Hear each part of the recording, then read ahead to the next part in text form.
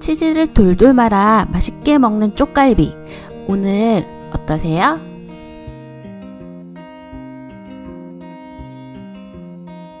등갈비 두 대를요, 찬물에 두세 시간 담가서 핏물을 제거해 주세요.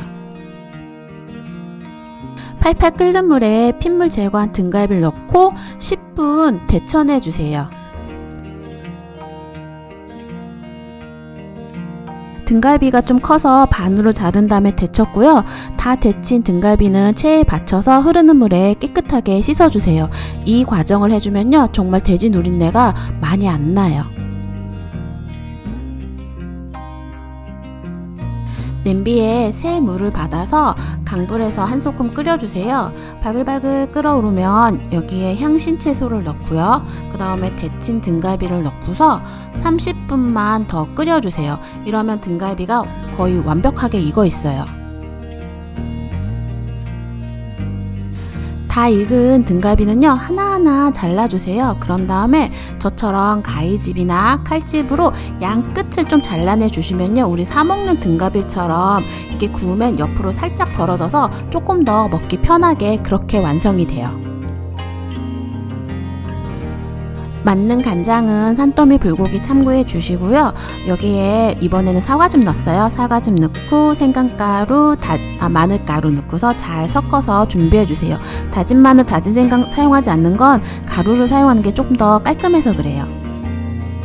완성된 양념장을 우리가 손질한 등갈비에 다 부어주세요. 바로 드실 거면 이 상태로 한 소끔 끓이고요. 아니면 저처럼 재워주세요. 하루 정도 푹 재워주면요. 끓이지 않고 구워도 간이 잘 되어 있어요. 하루 재운 어, 쪽갈비예요. 확실히 색이 노릇노릇한 게 그냥 구워도 맛있을 것 같죠? 한소끔 끓인 거나 하루 재운 등갈비는 에어프라이어 철망 같은데 가지런히 놓아서 180도에서 어, 쪽갈비가 노릇노릇 익을 정도로만 구워주시면 완성이에요. 어, 타지 않게 잘 보면서 구워주세요.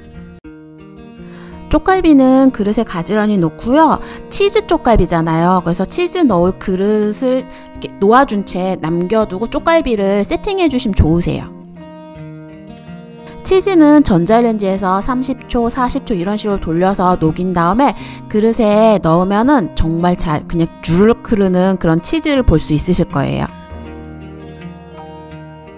영상으로 남기려다 보니까 치즈가 살짝 굳었어요. 이럴 때는 전자레인지에서 한 10초 정도 돌려서 드시면 더 좋고요. 쪽갈비를 치즈 돌돌돌 말아서 드셔보세요. 너무 맛있어요. 진짜 꼭 한번 해서 드셔보는 거 추천할게요. 그럼 맛있게 만들어서 맛있게 드세요.